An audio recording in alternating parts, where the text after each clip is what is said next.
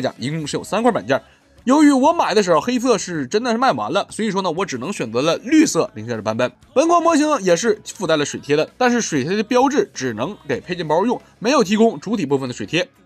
在喷涂零件部分，本款模型是提供了银色和金色两种，漆面看上去还是比较不错的，但是难免会有一些中奖以及一些其他的小瑕疵，并且金色零件漆面会有颗粒感，会明显一些，表面还有明显的灰尘。黄色零件整体的发色还是比较不错的，比较亮堂。白色零件的细节刻画会比较清晰，但是表面也是有很多的灰尘。提供的特点，黑色外加表现力要好很多，至少比较干净。骨架零件是类似于 HS 能天使一样的颜色，并且材质也会比较类似，比较厚实。仰膛水口相对来说还是比较可以的。绿色板件整体的划痕会比较多，我这个基本上每个零件都有一些轻微的划痕，而且整体的表面摸上去会有一些油油的感觉。那么板件我们就先看到这里，剩下的时间我们来看一下这一款模型的具体素质表现。到底如何？那么本款模型拼完以后，所有的内容物就是这些了。由于后裙甲的安装是比较松，所以我就直接用胶水给它进行固定了。本款套件包括了四个炮盾、两个 JN 火箭炮、仿二三样式的前后裙甲以及一大堆的连接件。通过说明书就可以看到了，本款模型是可以适配大部分零零系列的机体，包括 MG 能天使、力天使、大班能天使和正义女神、HS 能天使和正义女神。同时，MG 能天使能用，那么万代 MG 的正义女神也是可以用的，并且本款套件还有红、白、黑、绿、蓝五种颜色可供选择。至于主天使和德天使这两款模型和力天使属于同骨架，理论上来讲也能用一部分。金银火箭炮整体的分件会比较多，最后的细节表现我个人也会比较喜欢。由于没有提供其他的补色贴纸，所以准镜部分还需要各位玩家自行进行补色。其他的部分也是有用到银色喷镀零件，用于填充细节的。那么这一款真烟火箭炮在握把部分是带有一定的可动，并且内部的握把也可以旋转活动，这样能够更方便的安装造型手。在握把的部分也是提供了两种模式。真烟火箭炮两侧还可以用来活动的辅助握把，但是说实话，毕竟提供了那么多的连接件，所以这个辅助握把可能真的就没什么用了。炮口也是带有展开机构的。白色零件向下进行活动，这个部分是有限位，然后再拉出里边的金色零件，这个部分同样也是带有限位的。同时，这个部分正面的水口就会暴露出来了，还需要各位玩家自行进行补色。本款真烟火箭炮并没有提供手腕的辅助支撑零件，所以即便是藏人手握持的比较稳定，但是手腕关节承受不住这个重量。就算手腕关节可以承受住，但是我估计用不了多久也会断。炮盾整体的分件会更多一些，并且最后的呈现的效果严丝合缝，看着非常的舒服。炮盾的展开依旧是有两种模式，首先第一种就是炮击模式，活动握把，然后活动下方的零件，上方的零件再向上进行开启，露出内部的金色零件，整体的扩张会比较顺畅。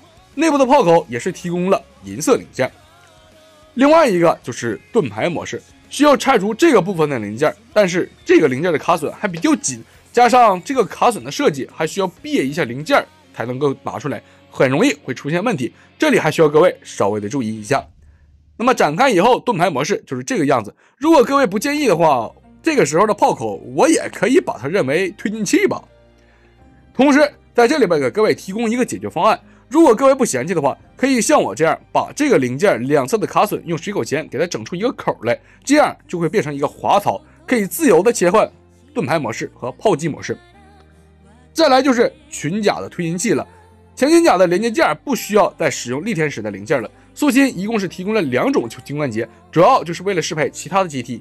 和大班力天使这个部分的衔接并不是特别好，会有一些松，并且前裙甲的零件设计非常的有毛病。咱也不知道内部的零件你为啥一个卡榫也不做，就那么几个滑槽，这几个零件安装的时候真的是非常的费劲。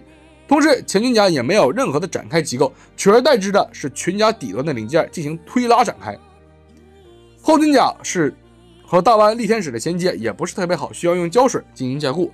后裙甲的两个大型推进器根部关节能够进行多段的活动，这个部分的表现力也是比较不错的。同时，后裙甲和前裙甲的拼装体验也是一样的，意义不明的卡榫和固定结构。不过后裙甲的展开倒是做出来了，这个这个幅度有点小。后盾甲的侧面会有一个多余的孔位，这个部分我本以为是用来挂载光束军刀的，但是卡榫完全不对啊！背包部分直接替换原本力天使的太阳炉就行了，这个部分整体的固定效果还是非常的结实。背包的机械背包的机械臂都是采取了最普通的柱形卡榫，这个部分的固定效果也会非常的紧实。背包后方的两个小盾牌也是带有一定的活动性，但是这个部分建议和说明书反过来进行安装。那么这一款模型主要的东西我们就已经介绍完成了，最后还会剩余一大堆的通用连接件，可以满足多种样式的搭载，并且所有的孔位和连接件都是通用的，想怎么摆都可以。由于素心并没有提供 R 三的肩胛，所以力天使原本的肩胛孔位也可以安插连接件用来挂载装备。这里还是要提一嘴。这一款模型的手臂连接件没有办法匹配大盘，会弹出来，需要用胶水进行加固。那么该说的都说完了，剩下的时间我们进入本期的修改建议。那么针对于这一款模型呢，也是有需要一些处理的部分，我们简单的来看一下有哪些零件是需要简单的去处理的。那么首先呢，就是在 GN 火箭炮上，Q5 和 Q7 这两个零件安装是非常紧的，而且卡榫呢又比较细，建议各位针对于这个地方的卡榫进行一定的扩孔。然后就是 H3 和 B 三所对应的零件，这种长条形的中心卡榫，我个人建议用剪刀斜切，给它切出一个尖来，然后再插上去，那么这个效果会更好一些。不然这两个零件都是比较紧的。那么然后就是在抛盾部分的 G 十和 G 九这两个零件，也是需要用胶水进行加固。那么在整个握把部分的组合拼完以后，这个地方一定要在中间听到咔的一声，才算是一个安装到位了。然后再来说一下机械臂后方小盾牌这个部分是怎么反过来的。按照说明书的指示，我们拼完了以后，它这个尖儿是冲上的。这个时候，我们给它安装在背包的机械臂上，它只能进行向下的活动。所以这个地方，我将它反转过来，将这个尖冲下。那么这个时候，它就会有一个比较好的活动性了。同时，这个地方连接的方形卡榫也是需要用胶水进行加固。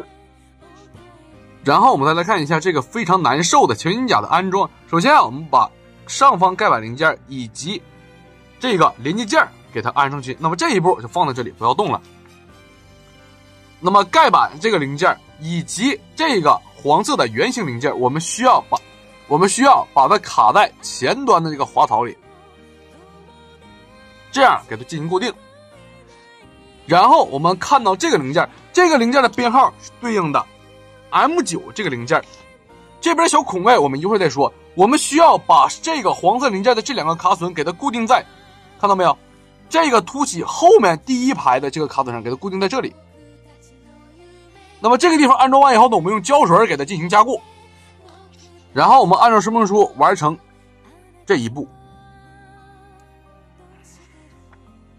那么这个时候，我们就涉及到了另外一个比较严重的问题，那就是这一款模型的卡榫啊，它设计的是非常非常不合理的。各位可以明显的感觉到，我们这一块零件原本是一个大的平面，而中间这里边却是多出来了一块凸起。如果你不对这个地方进行消除的话，那么整个卡榫你需要把这个铸金卡榫插在这个圆弧里，这样的话你是插不进去的。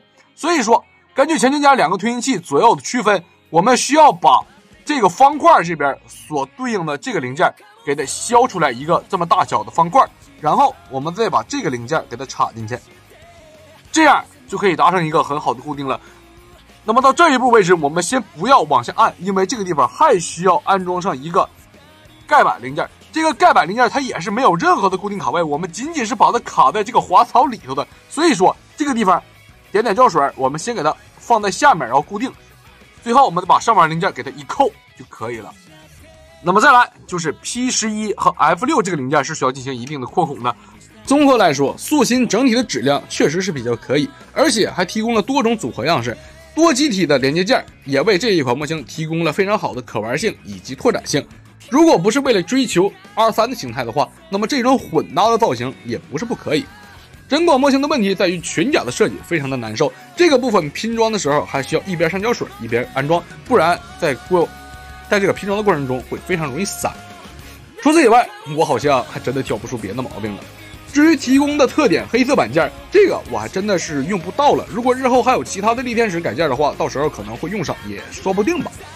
那么本期的 C 个模案分享到这里就已经全部结束了。不知道各位感觉这一款改件符不符合你们的口味呢？那么我们下期不见不散，拜拜。